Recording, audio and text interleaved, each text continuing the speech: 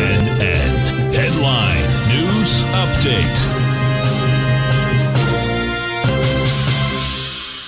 Good morning, everybody. I'm Tommy O'Brien, coming to you live from TFNN Thursday morning, 10 a.m. Eastern Time, 30 minutes into the trading day, and we got all the markets in the green to kick things off. You got the S&P futures right now up 15 points, trading at 47.31. That's a solid three tenths percent in the green. Nasdaq 100, three tenths percent in the positive as well, trading up 49 points at 15,939. We jump over to the Dow.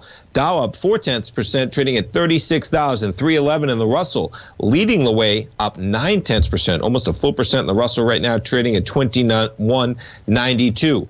Bitcoin back above 44,000. So much for under 40,000 this week as Bitcoin continues to bounce from that critical area of 40K. We got crude continuing to inch higher, almost near the highs we had yesterday. You were above $83 briefly at about 1 p.m. Eastern time yesterday. Currently, you're trading at 82.63. You jumped to gold Gold backing off a bit. It's been quite a run to higher prices this week for gold, but we're giving back some of those gains. Gold off about $9 at 18.18. We jump over to notes and bonds. Some pretty tame action considering the run that we've had this week to uh, kick off the year, even last week.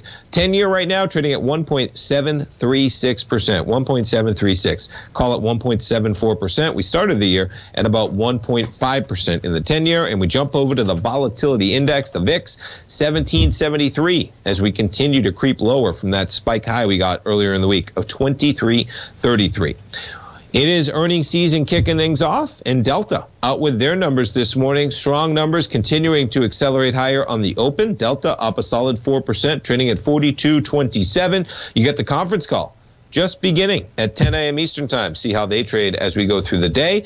We also get KB Homes out with their numbers last night, 12.8% to the upside. And how about Taiwan Semiconductor up 9.3%? The run continues for this equity. Pretty remarkable to the upside. On the flip side of that, Virgin Galactic Stay away from this one, folks. Down 15% to $10.48. I talked about it during the program.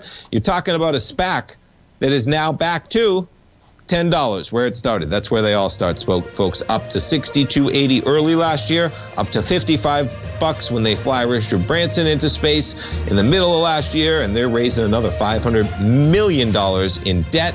And the market saying, "Watch out." Stay tuned, folks. We have Basil Chapman. He did his show at 8 a.m. this morning. We're going to replay that right now. We got our man Larry live at 11, Fast Market at 12, Steve Rhodes live at 1 o'clock, Dave White live at 2, and Tom O'Brien, my dad, live from 3.